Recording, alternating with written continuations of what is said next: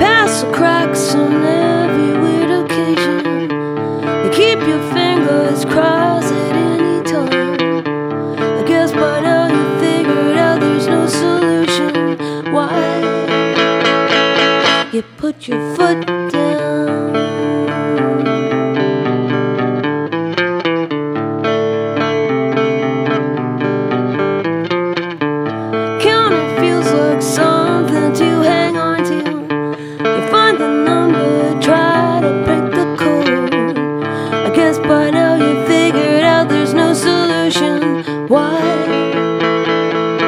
You put your foot down.